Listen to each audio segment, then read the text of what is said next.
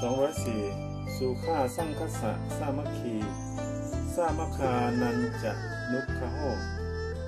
สามัคคารโตธรรมัทโท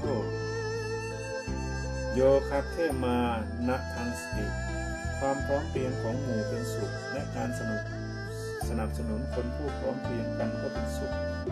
ผู้ยินดีในคนผู้พร้อมเพรียงกันตั้งอยู่ในธรรมย่อมไม่พลาดจากธรรมเกษมจากโยคะ ความพร้อมเพรียงหมายถึงความร่วมแรงร่วมใจกันความเป็นอันหนึ่งอันเดียวกันของมนุษย์หรือสัตว์ที่อาศัยกันอยู่เป็นกลุ่มๆเช่น พวกมดพวกปลวกเป็นต้น มาจากคำบาลีว่าสามัคคีนั่นเองซึ่งท่านแบ่งออกได้เป็นสองอย่างคือกายะสามัคคี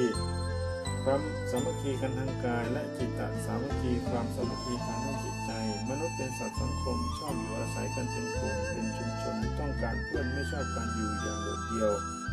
ตามหลักธรรมทางพุทธศาสนาพระพุทธองค์ก็วางหลักธรรมสำหรับเป็นเครื่องยึดเหนี่ยวความสามัคคีไว้เรียกว่าสังฆวัตถุสี่ประการ คือทานการเสียสละแบ่งปันสิ่งของเครื่องใช้ให้แก่เพื่อนมนุษย์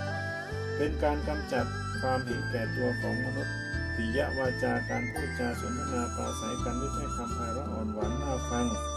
อัตถจริยาการบำเพ็ญประโยชน์ให้แก่กันและกันช่วย เช่น ช่วยเพื่อนทำงานช่วยรักษาพยาบาลช่วยสงเคราะห์ด้านอื่นๆเป็นต้น และสมานัตตาคือการวางตนได้อย่างสมานกันระหว่างเพื่อนมนุษย์ไม่สูงเกินไม่ต่ำเกินไปความพร้อมเพียงของมนุษย์จะมึงอยู่ได้เพราะอาศัยธรรมะสี่ประการนี้